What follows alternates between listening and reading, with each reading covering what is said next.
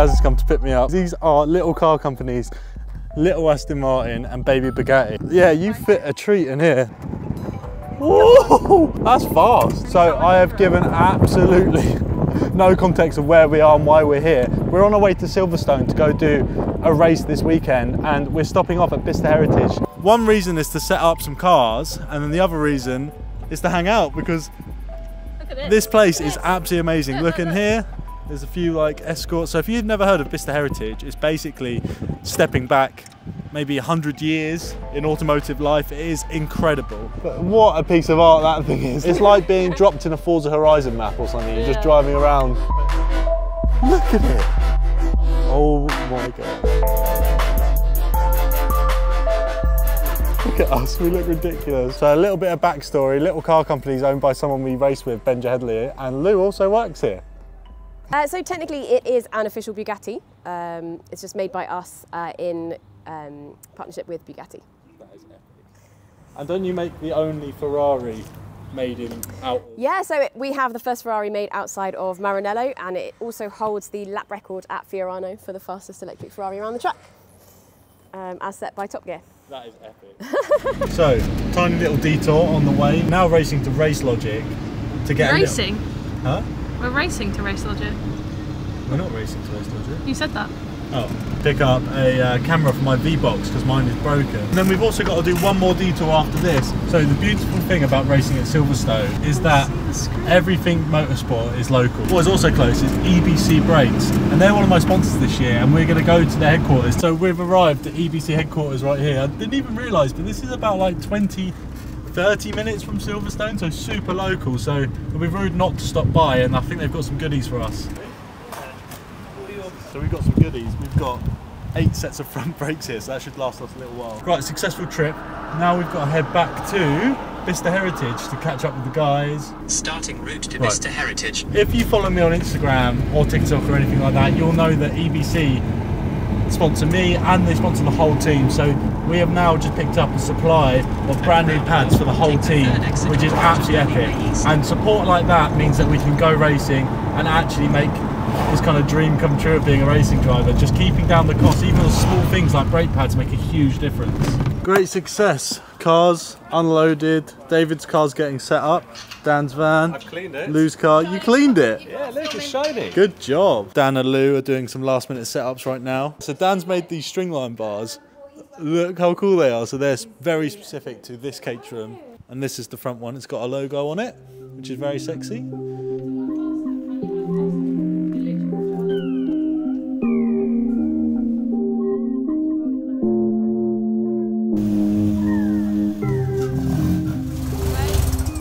Right, we're all locked and loaded. We're heading away from Little Car Company now in. We're now heading straight to the track.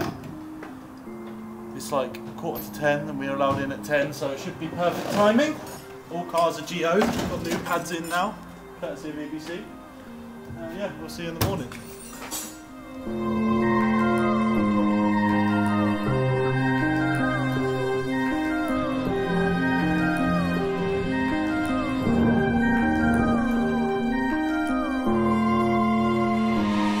Right, so welcome to Silverstone. We've made it here at last. We've set up camp. We've got all three hardline cars set up here. It's Friday testing. We're going to go out for testing now. That's recording. I'm ready to go. Let me know in the comments. Do you like these segments? Because uh, the people I've spoken to, some people absolutely love this bit. So maybe I should just do more like this. Driving down the paddock, we are at Silverstone racing at the GP circuit. Probably one of the worst circuits in the UK for Caterham racing, just because of the uh, nature of the tow.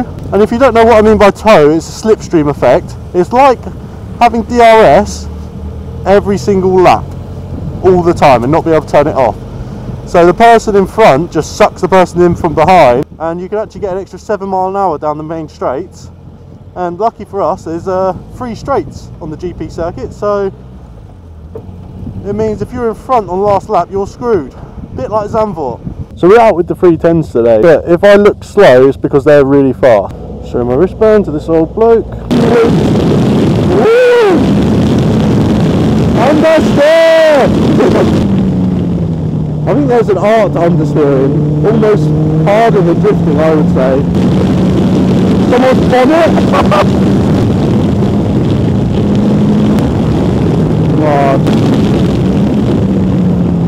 Too much curb. And then you get all around the outside here. Straight on the brakes. This really challenges me. Oh mate, wild! Wild! I expected the rear end to grip a lot more than it did there. That was embarrassing. Yeah, pretty arsey. Yes sir. Ash the lucky girl. Look at the speed of that. Mercy, thank you. all. Shame about this track is it's a two and a half minute track per lap. So it takes ages to get round. If you want to try to one corner, you've got to wait another two and a half minutes before you get another go. Very, very easy a lot of fronts today. Back limits. Fucking hell.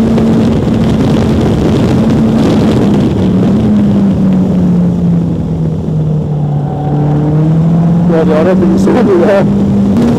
Fortunately, this guy is, is definitely loving it.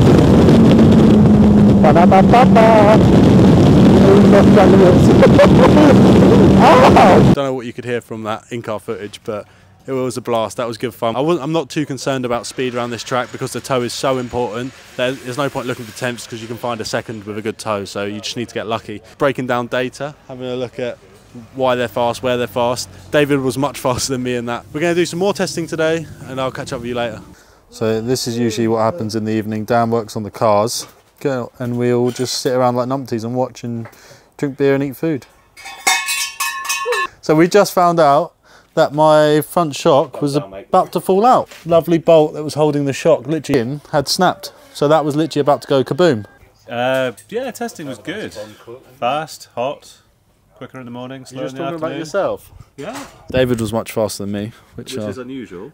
Yeah. But I'm sure it'll change tomorrow when qualifying comes round. Right, let's see what happens tomorrow. Take a pew. Right, Lulu, how'd the testing go? It was good. Yeah, Yeah? really, really good. So testing was great, not just for me, but the whole team. Lou actually had learned to heel toe in one session. Literally, you should see the the V-Box footage. It's like an auto blip. It's like car porn, isn't it? You watch it and you're like, yes, Lou, let's go. So- I don't know why I waited so long to actually learn to do it. Yeah. But yeah, like before, you brake into a corner and your car's like, Ugh! yeah. and now I brake into a corner and the car's like, okay, let's go. let's go. Yeah, really looking forward to quality today. Um, we'll see how it goes, but yeah, it should be good. Yeah. Predictions? Yeah. Predictions. Oh, uh, well, we've got a few We've got a big grid. interlopers today. Got- um, I reckon a top 10 for her, and I, I'm top five for me would be fantastic, and I reckon David would be in the top five as well.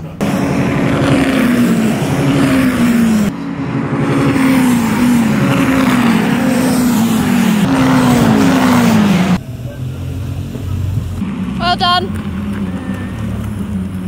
Well done. Well, that was good, wasn't it? Yeah, That good was one. Really close. I think what, about half a second, four tenths in the top Yeah. seven. You were sitting P3 for a long time. that?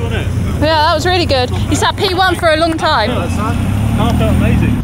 So quality was an absolute great success. Like I said earlier, the tow is so important, and uh, to get a good tow round here, we buddied up and we went four up and tried to give ourselves the best tow possible.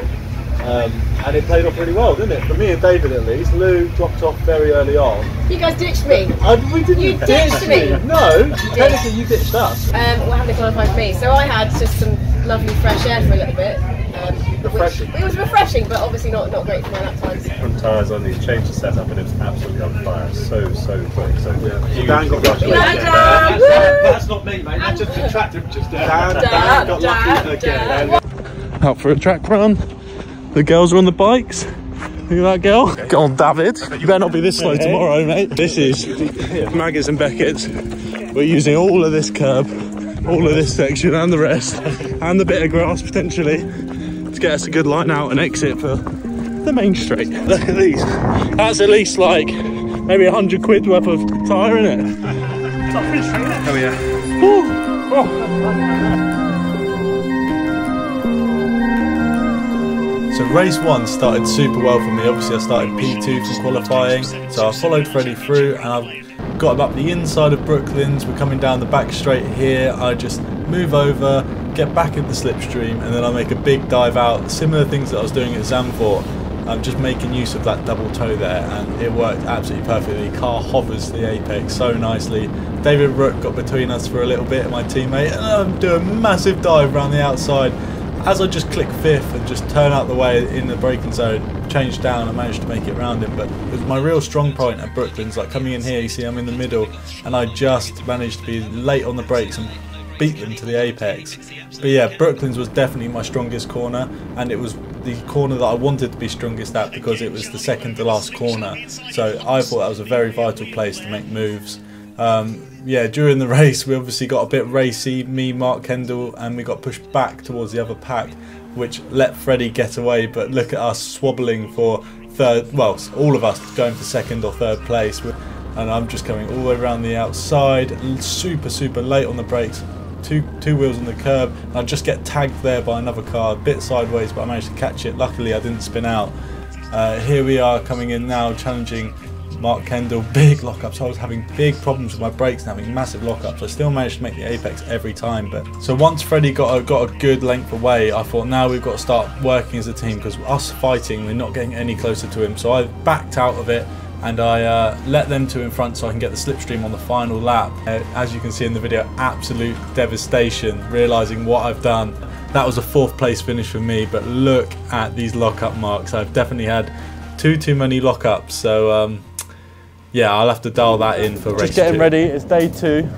Race one went very well yesterday, other than a little strategy error, which made, um, basically didn't know it was last lap. It was very silly, but um, you learn, you live and you learn, and I'm gonna go full send today and hope for the best. So reviewing footage, I realised that they did not put a last lap board out. That's why I did not capture the last lap. But yeah, starting race two and fourth. It didn't take long to get back to the front of the grid because of the nature of the tow, but there was a whole pack coming after us this time. He's a bit twitchy through there, but I managed to square it up nice and early, get him right behind him. And as I pull to his right, uh, I don't know if he doesn't see me or whatnot, but he just pushes me on the grass and I'm on the horn. Coming through the apex of the corner, I change up and he just smacks me in the back basket which is totally unnecessary, but hey ho. I just wanted to leave this clip in to show you, like I was talking about the DRS earlier, the slipstream of a Caterham. So look, I'm right behind him and look how much speed I pick up. He's not lifting off, I'm just pulling harder and harder because he's put a hole in the air, which has given me less drag and I can actually push straight past him. So that is the effect of the slipstream. It is crazy. So it didn't matter if I beat him into Brooklands, if I went round the outside or if I went around the inside, it didn't matter because he had such a good run out of that final hairpin. He always managed to beat me to the finish line by either 0.01 seconds to 0.08 seconds. But he was consistent and he consistently beat me over the line. So I followed him through a few times. I tried the outside line, inside line, none of it worked. So after trying absolutely everything and not being successful over the line, I thought I'll throw it right down the inside again and uh, try and just push him as wide as possible. I've got quite a solid lead here. I've got about a car and a half lengths, and I take the corner nice and wide, get on the throttle really early out of the hairpin. But he's looking a bit wild around there, but he still gets this amazing slingshot all the way around and still manages to beat me by two one hundredths of a second.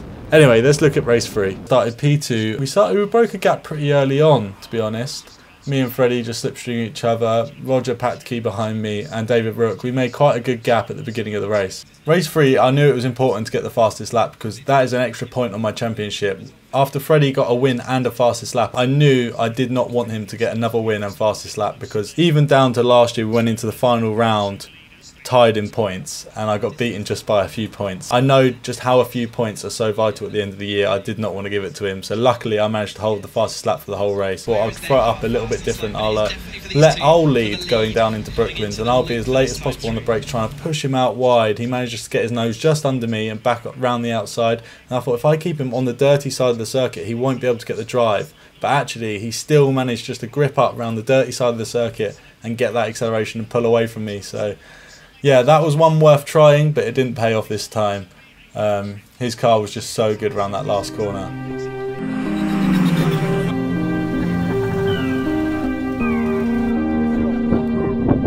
You got nine seconds ahead of everyone. I think I ended up more than that.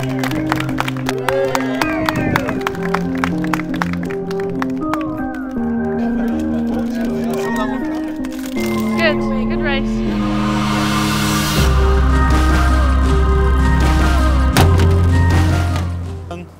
Ready to go, Jazz is rolling, perfect. Good weekend? Great weekend, thank you. Loved it. Good weekend? Excellent weekend. Good weekend all round. Started off a bit slow for me. Wasn't quite happy with my results in race one, but then race two and race three, I got to second place, and then another second place and a fastest lap. So good point, good points all round. And how did you get on? Yeah, great weekend. First podium. First P2. ever podium. Yes, at Silverstone, which was fab. Great race. Race two was a lot of carnage, a lot of crashing, a lot of bashing, but survived it. Got P5 and then P4 in race three. So Not solid bad points, points, nice very results. good. I think that leaves in Enjoyed third it. place in the championship as well, which is so. very good. Right. All right, all right. Lulu had some good races. Yeah, really good races. Uh, no podium for me. um, but some really, really good racing um, with actually some of the, the new guys who come over from, oh, come out of retirement, I should say, and come over from grad. So that was really nice. Nice. Um, yeah, what I was going to say, it was a lot of carnage. I don't know It what you lot were doing up the front, but there It were was wings flying over, yeah. there were lights flying off. It was kind of like this. I could see it but in my mirrors, A but little bit I'm Mario Kart. glad I wasn't involved. But anyway, we'll see you guys next at Fruxton. Dan's making a lot of noise. See you at Fruxton, where Lou's going to get a podium. Yes. I'm going to win. He's going to get a win, and I'm going to f- win the championship, hopefully. Yeah. right, we can all dream. Right, nice one. Thanks for watching.